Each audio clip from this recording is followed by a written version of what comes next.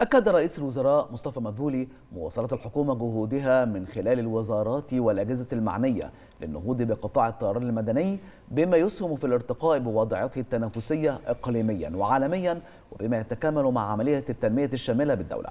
كما أكد مدبولي خلال اجتماع لمتابعة الإجراءات التنفيذية المقترحة لطرح إدارة وتشغيل المطارات بشراكات القطاع الخاص أن الحكومة تستهدف إشراك القطاع الخاص في إدارة وتشغيل المطارات المصرية بما يسهم في تحسين الخدمات المقدمة للركاب وزيادة الإيرادات المحصلة. وناقش الاجتماع موقف اختيار استشاري دولي ذي خبرة كبيرة لوضع خطة برؤية متكاملة لعملية الطرح لإدارة المطارات المصرية عبر منظومة احترافية لتنظيم حركة تدفق المسافرين والخدمات بأفضل عروض ممكنة.